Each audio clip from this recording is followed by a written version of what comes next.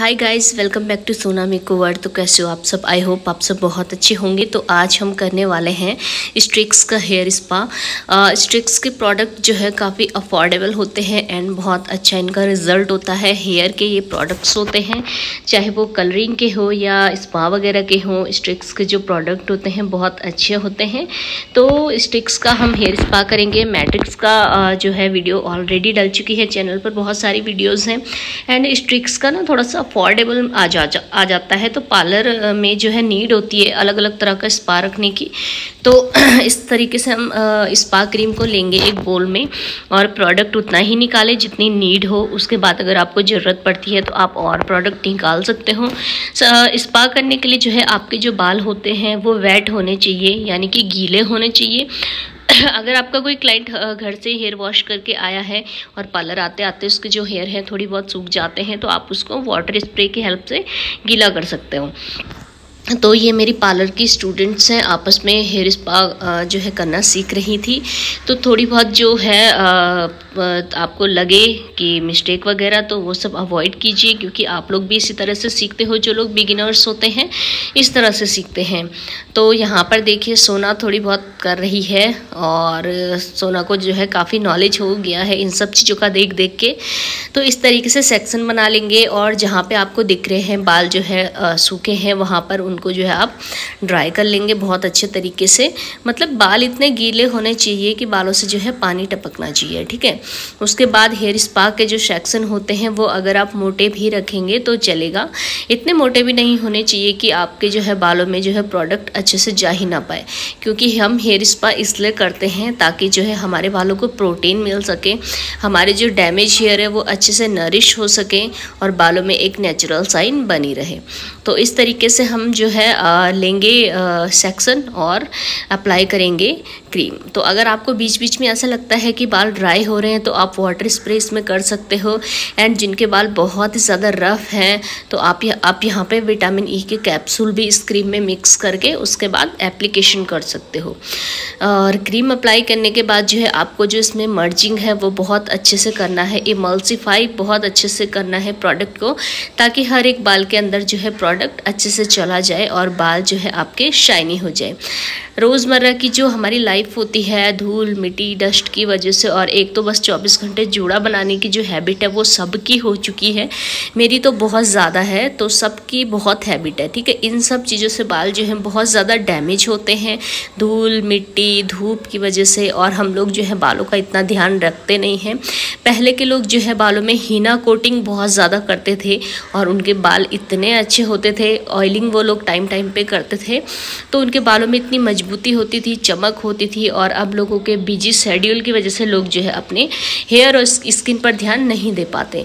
तो इस पा इसको जो है, इस प्रॉब्लम को ठीक करने का जो है एक जो है मतलब तरीका है। ठीक है आर्टिफिशियल तरीका है नेचुरल तो मैं नहीं बोलूँगी बट आर्टिफिशियल एक तरीका है जिससे कि जो हमारे बालों की खोई हुई शाइन है और उसको हम थोड़ा सा जो है मेंटेन करके रख सकें। अगर हम टाइम टाइम पर हेयर स्पा लेते हैं तो जो है हमारे बालों की जो है हालत काफ़ी हद तक सही हो सकती है। और आजकल एक तो लोग हीट वगैरह का बहुत ज़्यादा यूज़ करते हैं, अब हम लोग पार्लर चलाते हैं तो हीट वगैरह का काम तो जो है बनता ही है। बट डिपेंड करता है कि अगर हम हीट का काम कर कर भी रहे हैं तो हम एज अ हीट प्रोटेक्टर जो प्रोडक्ट होते हैं, उनको यूज़ करें, ठीक है? बहुत सारे लोग डायरेक्ट ही जो है हीट का जो यूज़ कर लेते हैं बालों पे तो उनके बाल कुछ टाइम बाद बहुत प्रॉब्लम करते हैं। तो इसलिए आप जब भी कोई सर्विस लें प्रोफेशनल से लें और जिनको काफ़ी अच्छे से काम आता है, उनसे लें। आजकल लोग छः छः महीना पार्लर सीख के जगह जगह पे पार्लर खोल देते हैं नॉलेज उनको उतना नहीं होता। अब देखो पार्लर सीखने के तो ग्रुप में जो है दस या पंद्रह लड़कियाँ सीख सीखती हैं बट कोई ज़रूरी तो नहीं कि सारी लड़कियों को जो है, अब देखो टीचर तो एक जैसी नॉलेज प्रोवाइड करता है बट वो कैच करने वाले के माइंड पे जो है डिपेंड करता है कि उसने कितना कैच किया है, कैसा कैच किया है एंड क्या वो आगे जाके उसको डिस्ट्रीब्यूट करेगा, ठीक है? तो सोच समझ के जो है आप लोग अपनी सर्विस लीजिए, जो पार्लर आपका ट्रस्टेड है, उस उस पर आप अपनी सर्विस करवाइए हेयर की हो या फिर स्किन की हो मेकअप की हो ब्राइडल की हो, जिस भी चीज़ की हो, ठीक है? और इस तरीके से जो है स्पा में पहले, सबसे पहले स्पा क्रीम ही अप्लाई होती है बालों पे। बालों को गीला कर, करके आपको इस तरीके से एप्लीकेशन करनी होती है और यहाँ पे जो है इनका प्रोडक्ट ख़त्म हो चुका है। तो सोना यहाँ पे प्रोडक्ट और ले रही है। तो बहुत शौक है शोना को भी इन सब चीज़ों का। आप देखिए, दूसरी तरीक, दूसरे साइड भी हमने सेम तरीके से एप्लीकेशन करने के बाद बालों पे जो है हम हीट देंगे और जहाँ बालों पे जो हम हीट देंगे, पाँच मिनट से ज़्यादा हीट नहीं देंगे, ठीक है? तो हीट की वजह से जो है आपका पीएच लेवल बैलेंस में रहता है हेयर का और जो इनकी डेंड्रफ वगैरह की भी जो प्रॉब्लम होती है, वो भी हट जाती है। बालों को एक मॉइस्चर मिल जाता है। अब देख सकते हो क्रीम जो है काफ़ी अच्छे से बालों में मिक्स हो गई और बालों को काफ़ी अच्छे से प्रोटीन मिल गया। इसके बाद हम बालों को ठंडा होने देंगे और हेयर वॉश करेंगे।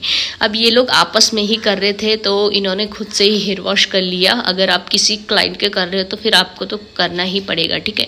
यहाँ का जो स्टेप है, वो बहुत ज़्यादा इंपॉर्टेंट है। यहाँ पे आप बालों को कम से कम टेन मिनट तक इमल्सीफाई कीजिए, और उसके बाद जो है अच्छे से वॉश कीजिए। कोई भी प्रोडक्ट जो है बाल में रहना नहीं चाहिए। इसके बाद हम क्या करेंगे? ड्रायर में से ठंडी हवा निकाल के उसको जो है ड्राई करेंगे बालों को। बहुत से लोग यहाँ पे जो है हीट प्रोवाइड करते हैं बालों को, ठीक है? हीट नहीं लगाना है। अगर आपको इतनी ही जल्दी है तब जाके आप लगा सकते हो। बट अभी अभी हमने बालों का क्या है ट्रीटमेंट किया है। बालों को हमने प्रोटीन दिया है। तो अगर हम हीट लगाएँगे हीट लगाने से बाल ना बहुत ज़्यादा रफ हो जाते हैं।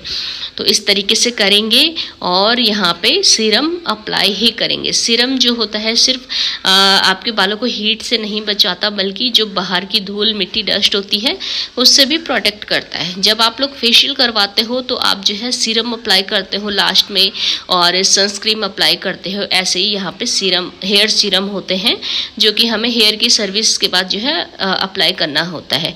तो ये तरीका होता है हेयर स्पा करने का।